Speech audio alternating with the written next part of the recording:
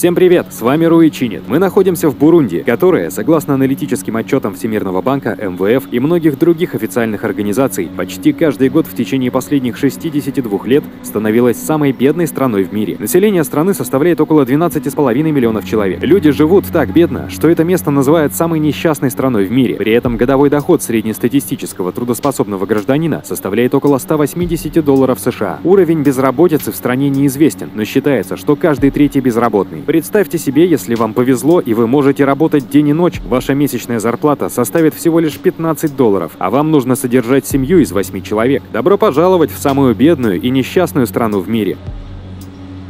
Когда мы приземлились в международном аэропорту Бужумбуры, единственном аэропорту в стране с асфальтированной взлетно-посадочной полосой, мы были очень удивлены, взглянув на информационное табло. Они использовали демо-версию Windows, чтобы не платить. По дороге в отель мы увидели группу детей. Они стояли вокруг собаки, которую сбила машина.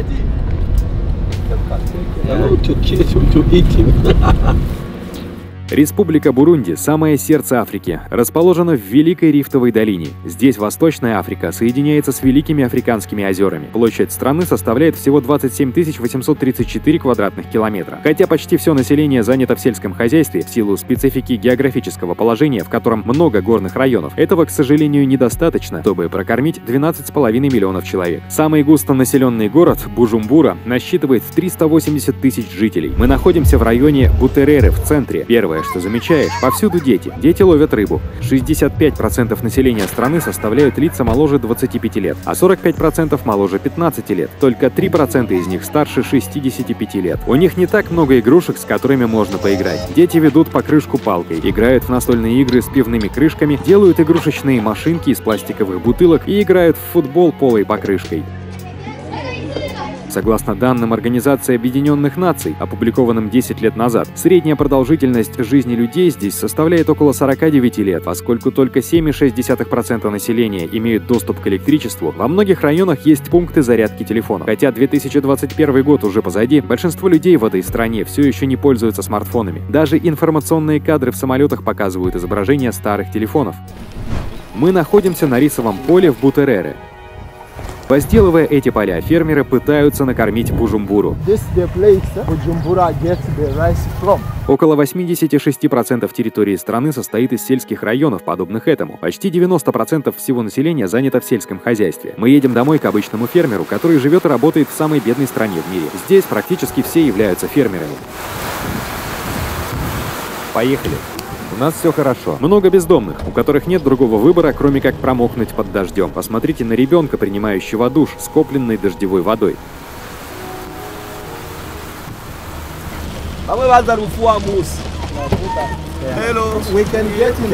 Это их дом? Всего одна комната. There are 80 people living in this house. It means there are 80 children, two parents. This is their bed, this one. Они расстилают этот коврик и спят на нем.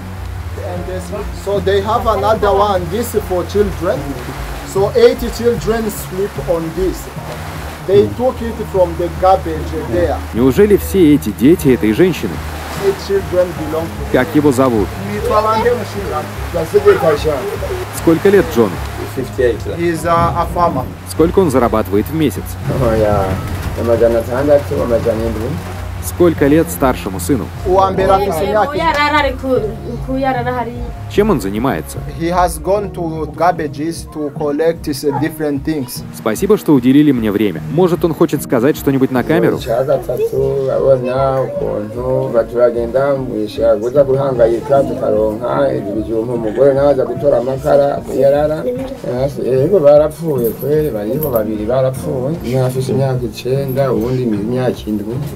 icya uyu muryango uhezagire in the name of Jesus urakoze kubikoze mu izina rya Yesu Джон, занимающийся выращиванием бобов, пытается содержать свою семью на 10 долларов в месяц. И все 10 членов семьи спят на полу в одной комнате. У них нет электричества в доме, но положение Джона все еще гораздо лучше, чем у большинства других людей, которых мы сегодня увидим.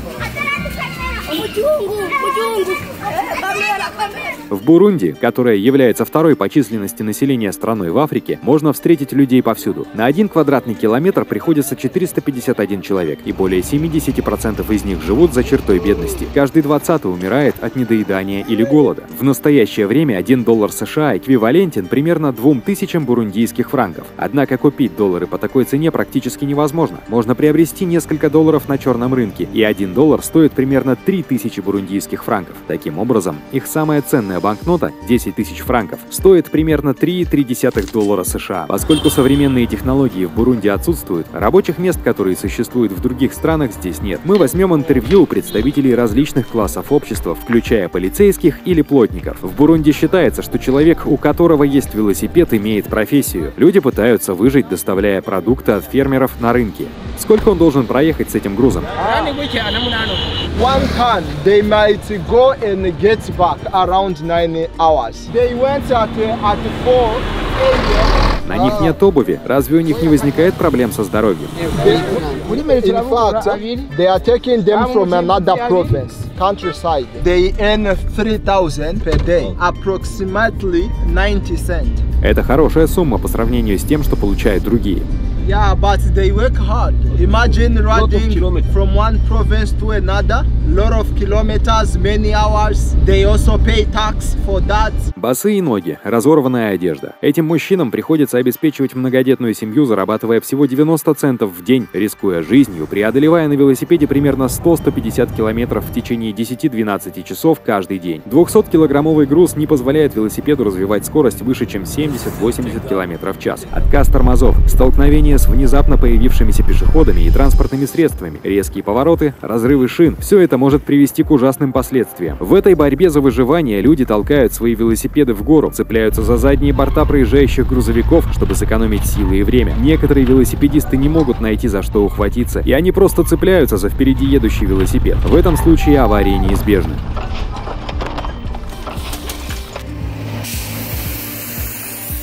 По данным Управления автомобильных дорог, в Бурунди насчитывается около 12 тысяч километров дорог, но только 14% из них асфальтировано. Люди моют свои велосипеды в луже после дождя. Некоторые сушат свою промокшую от дождя одежду на опоре электропередачи на улице, потому что у них нет дома. Сейчас мы находимся на месте встречи и приема пищи велосипедистов на шоссе. Что это? This is sweet potato, 100 Burundian francs. Сколько она зарабатывает в месяц? cyangwa ukuka bitatu cyangwa bitanu 5,000 Burundian francs, which is around one and a half dollars. Как она выживает? And there are kids that are helping them selling mushrooms and whatever. uncorere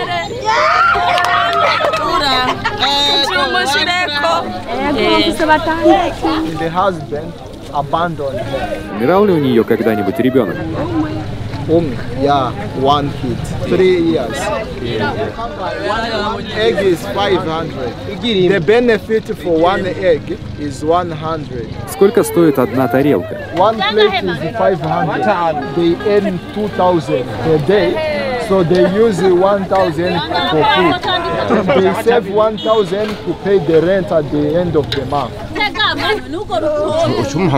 Обычно они едят картофель и бобы, поскольку их пищевые источники энергии очень ограничены. Попрошайничество очень распространено. Независимо от того, есть у них работа или нет, некоторые люди с раннего возраста попрошайничают, увидев иностранца.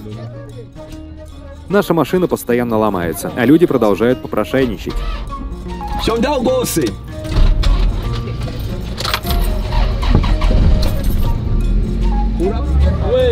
Shondaho rwose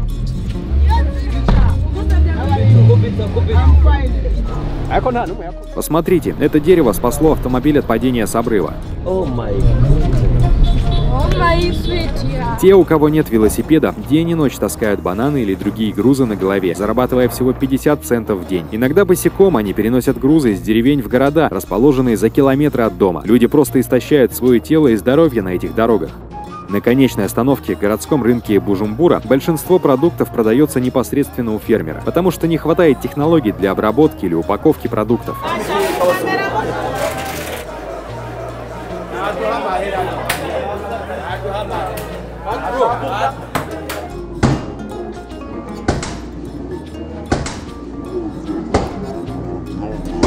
Uh, you know, these are the people who transport uh, for other people. Like we can get 1,000.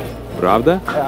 На этом рынке, крупнейшем торговом центре в стране, мало что есть, кроме продуктов питания. Они называют это место Катебу. Некоторым людям не нравится, что мы ходим с камерой, потому что они не привыкли к ней. Тут очень много людей. Мы направляемся в Гитегу, второй по величине город и столицу страны, население которой составляет 135 тысяч человек.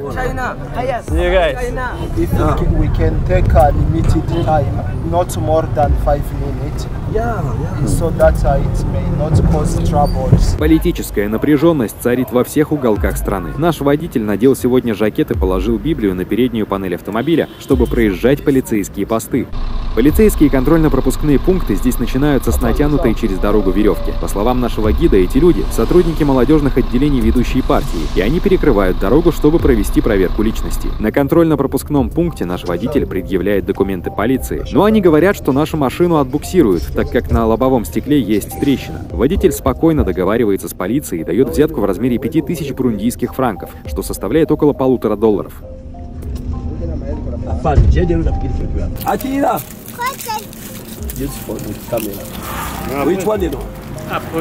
Akira. Ah, wood. Сколько вы зарабатываете в месяц? Думаю, мы должны помочь ему. Icyo ngomba kushyikiza I want to say something. urakoze kugira ngo ngaho nk'umutahe wo kurangura urubaho Thank you. Thi- This is the investment you give me. I will buy two woods so that my job continues. imana iguha umugisha Wewe uko Riki? Jewe, Eh. je mu kazi kanje ndi umumotari Сколько вы зарабатываете в месяц? ku kwezi Eh, ja ku kwezi kwezi adashikiriza nk'ibihumbi ten dollars. И он возит людей. Yeah, motor taxi. Мы пригласили одного из полицейских в машину, чтобы понять, как они, государственные служащие, сводят концы с концами, когда не просят никаких взяток. Сколько зарабатывает сотрудник полиции в месяц? Но вы знаете, они также получают доход нелегальным способом – взятками. They just get the money to drink beer. They don't get a lot from it. Rero n'abaca bemera bagaheba imiryango hari nk'ubu basanzwe afata nk'intuze nk'urugendo rwa kure ufata ukura nk'ino uja mu ntuzi mu yindi urashobora kumara n'amezi atanu utagiye mu ikonje Сколько часов вы работаете в день? rero dukora 24 si 24 Наш водитель притормозил, когда премьер-министр и его конвой проезжали мимо. Он говорит, что из уважения запрещено ехать, когда мимо проезжает конвой. Представьте себе список необходимых продуктов, которые семья из восьми человек потребляет в течение месяца. Но глава семьи зарабатывает в среднем всего 50 тысяч франков в месяц. Один литр молока стоит 5,5 тысяч. Один литр подсолнечного масла стоит 9 тысяч. 170 миллилитров шампуня стоят 8 тысяч. 1 килограмм сахара стоит 8,5 тысяч. Полтора литра воды – это полторы тысячи.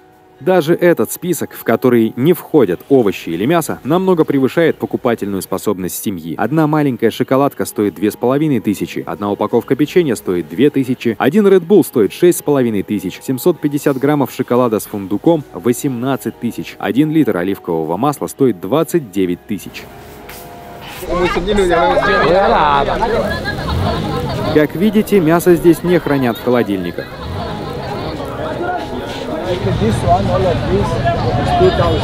А как насчет арбуза? Бери камеру. Среднестатистический бурундеец должен работать примерно 230 лет, не тратя никаких денег, чтобы заработать полную годовую зарплату среднестатистического американца. Они рассчитывают только на свои мышцы и силу. Он закидывает кирпичи наверх. Эти кирпичи предназначены для строительства нового дома. Они изготавливаются из илистой смеси и не подвергаются процессу обжига, а высушиваются под солнечными лучами. Всего в 100 метрах от нас посреди улицы мужчина падает в обморок, вероятно из-за голода. Душераздирающе видеть, как ребенок, у которого нет рук, несет своего брата или сестру. Мы не можем помочь, но задаемся вопросом, какую работу будет выполнять этот мальчик, когда ему исполнится 20-30 лет. Сейчас мы в школе. Большинство из этих детей, скорее всего, будут работать вместо того, чтобы продолжать образование. Только 32% учащихся в стране заканчивают среднюю школу. Менее 1% населения посещают университеты. Единственным государственным университетом в стране является университет Бурунди. О чем мечтают студенты? Uh.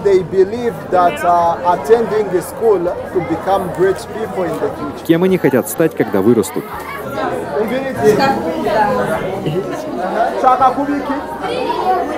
Посмотрите, как эти дети возвращаются из школы.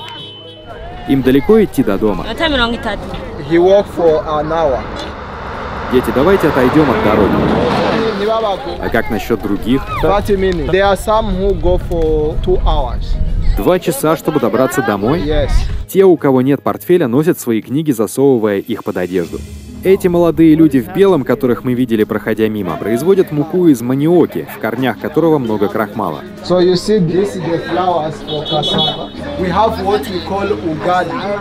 is cassava bread. Из этого они делают хлеб. Yeah, out of this.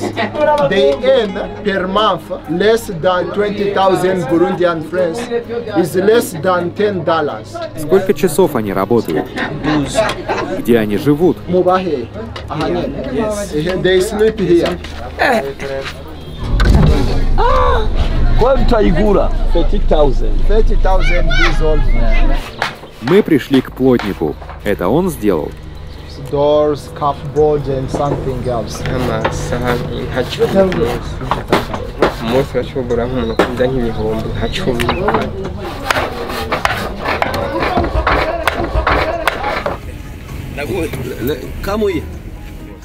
Мы остановились на перекрестке. Торговцы продолжали подходить один за другим. The two of them, I buy it for 2,000. Сколько стоит одна штучка? This is 1,000.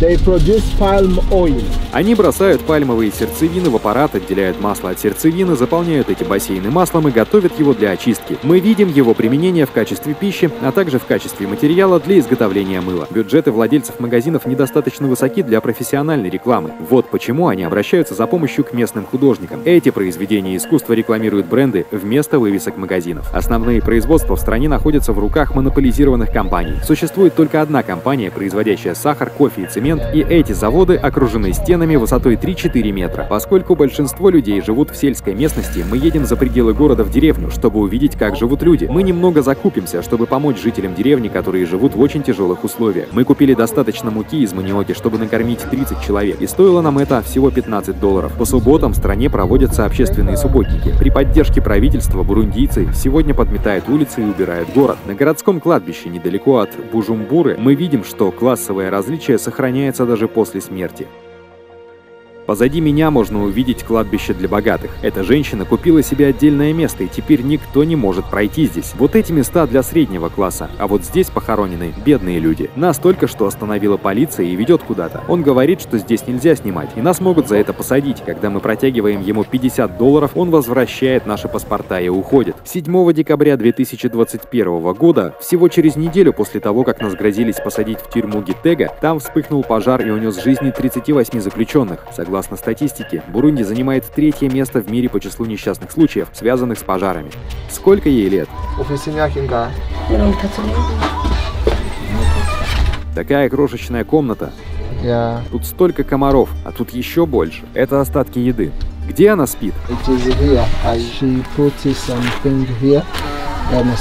От стены до стены. Я. И вместе с ней четыре ребенка. Her husband died, then three other children died. So she remains with one boy.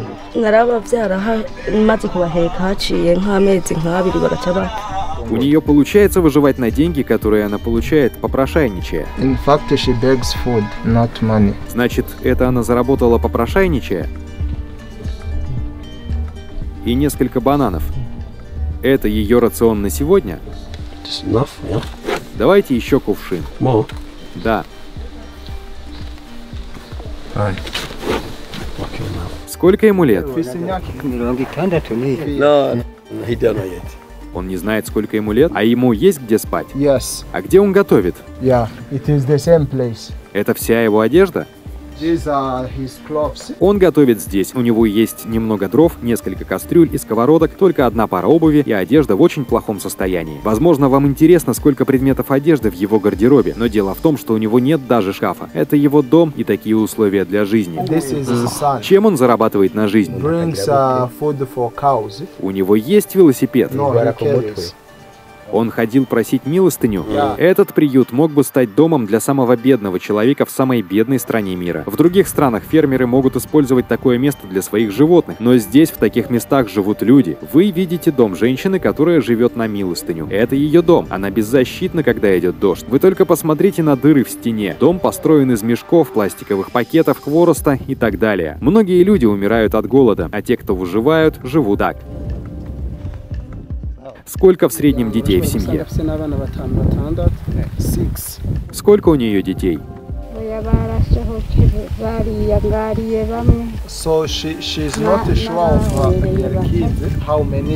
uh. Она не знает.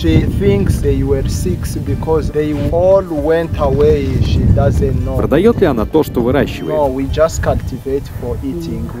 В этом регионе люди больше не зарабатывают деньги, а все потому, что экономическая инфраструктура недостаточно функциональна. Люди живут за счет обмена товарами и услугами. Они выращивают что-то и меняют это на нужный им товар или услугу. Знает ли она, в каком мы сейчас году? Даже девушка не знает. Они даже не носят с собой денег, верно? Они даже не знают о валютах.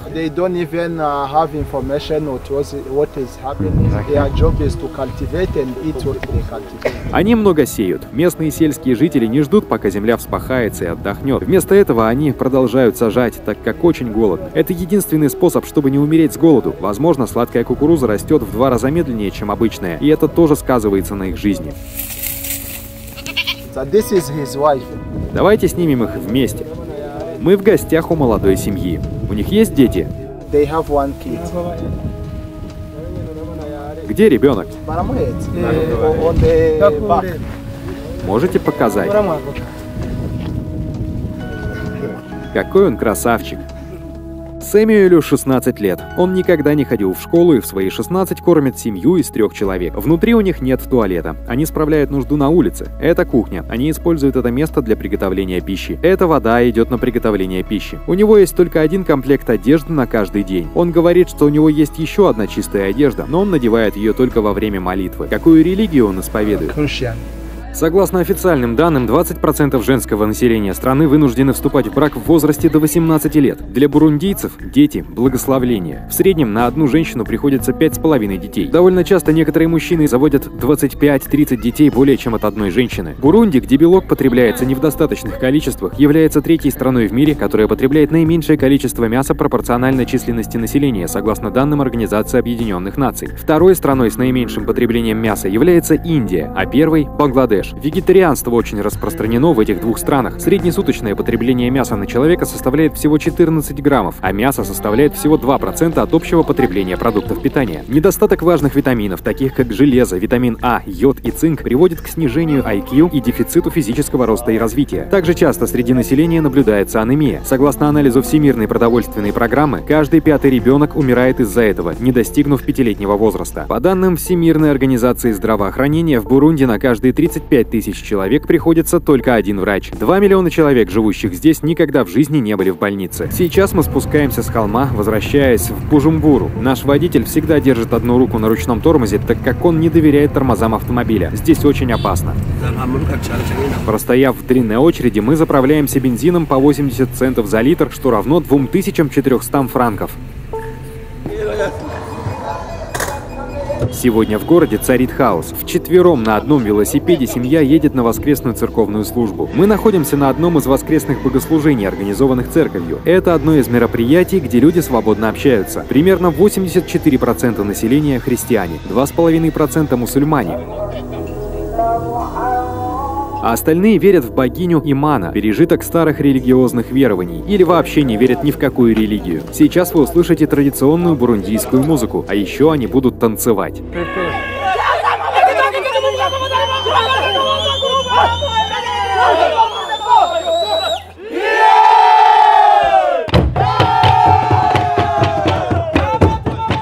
Эта песня на их родном языке, курунди, когда-то использовалась для вызова врага на сражение.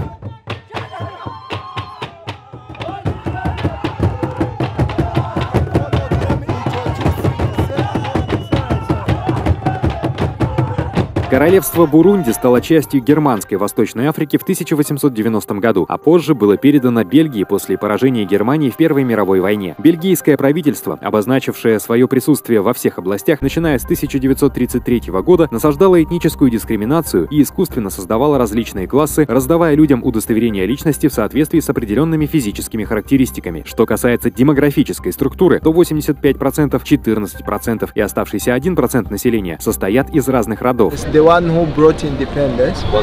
He was killed here while he was in the meeting of independence. He was killed by Belgium. Местные жители ненавидят Бельгию. No, no, we don't hate them because uh, first of all, they educated us. We use their educational system. Everything officials, we copy Belgium. And that's why we even speak French. They are our colonizer and we take them as uh, our tutor. Хотя по официальным данным, бельгийский произвол, продолжавшийся до 1 июля 1962 года, закончился и Бурунди провозгласила свою независимость, для населения стало обязательным ношение удостоверения личности с указанием своего племенного происхождения. И этот конфликт, продолжавшийся до 2005 года, оборвал жизни примерно 300 тысяч человек в стране. Люди считают себя везунчиками, поскольку бельгийцы принесли им христианство. Известная африканская пословица гласит, когда миссионеры пришли в Африку, у них была Библия, а у нас земля. Они сказали, давайте помолимся. Мы закрыли глаза, когда мы их открыли, у нас была Библия, а у них земля. Помимо детей, потерявших родителей в результате печальных событий, произошедших в прошлом или из-за СПИДа, есть много детей, брошенных своими семьями из-за нестабильной экономической ситуации. По данным организации «Детские деревни», СОС численность сирот в стране сегодня составляет 610 тысяч человек, то есть 5% от всего населения страны. Всех сирот обычно принуждают к работе, значительное число из них к неприемлемым обязанностям, а некоторых продают как вещь. Согласно официальному исследованию Государственного департамента США, некоторых детей из Бурунди привозят в один из бедных регионов Уганды Карамоджа и принуждают к принудительному сельскохозяйственному труду и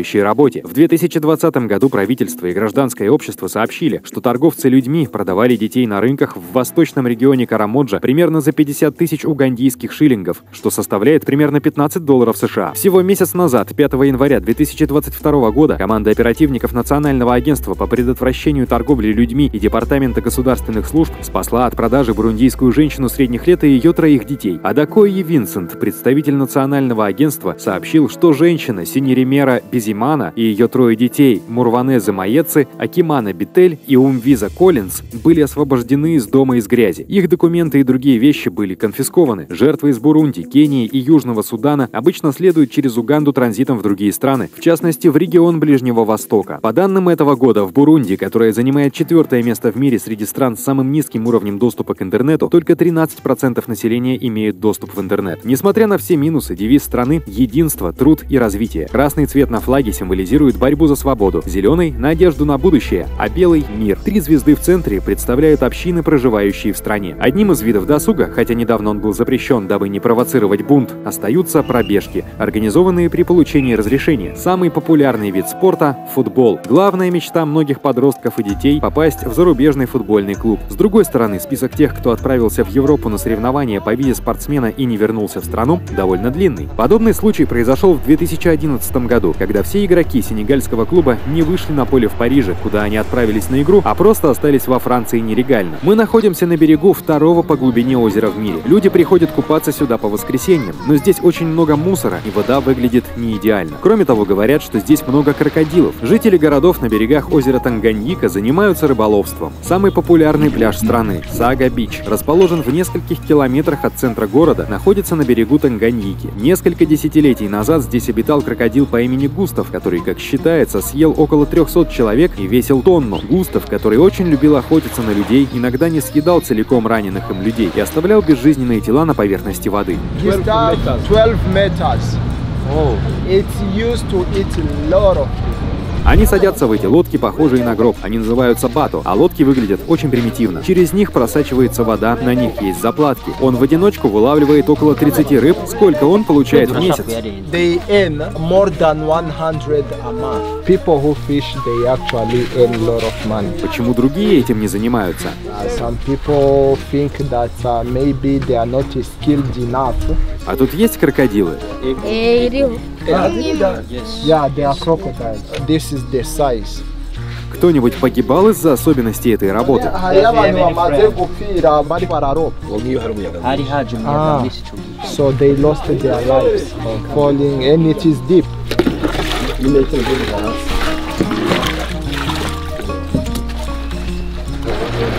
Опытные рыбаки могут определить опасное место с помощью пузырьков, всплывающих на поверхность. Крокодилы, которые знают вкус человека, прячутся в воде. Иногда они могут нападать на рыбаков, когда видят их лодки. Люди пытаются свести концы с концами в трудных условиях. Мы пришли сюда, чтобы недолго понаблюдать за тем, как они живут. Мы плывем дальше по озеру. Этот мальчишка рыбачит. Как видите, наш бата набирает воду. Нам постоянно приходится вычерпывать ее. Эта лодка, вероятно, окажется под водой, если кто-то не будет постоянно ее вычерпывать. Процесс очень трудоемкий. Говорят, здесь много крокодилов, но даже дети привыкли к такому образу жизни. Для них это обычный день, и им приходится выживать. Жизнь в Бурунди тяжелая. Озеро Танганьика, хотя оно и не пользуется широкой известностью, имеет огромное значение. В нем сосредоточено около 16% мировых запасов пресной воды. Оно также носит титул второго по глубине озера в мире. Теперь, когда нехватка питьевой воды стоит на пороге человечества, а оно обладает 16% мирового объема пресной воды, в ближайшие десятилетия его можно будет активно эксплуатировать. Основным экспортным товаром Бурунди являются кофе, чай, хлопок, картофель, фасоль, мука из маниоки, кукуруза и бананы. Эта продукция продается в Бельгию, Китай, Уганду, Кению, Саудовскую Аравию и Индию. В 2020 году страна заработала около 161 миллиона долларов за счет экспорта, но при этом потратила 908 миллионов долларов. Обычно для других стран разрыв между этими цифрами невелик, но в Бурунди уровень бюджетного дефицита во много раз превышает среднемировой. 50% того, что они продают, это золото. Объединенные Арабские Эмираты покупают золото у Бурунди и продают его миру гораздо дороже, добавляя к товару дополнительную стоимость. Когда президент Бурунди Пьер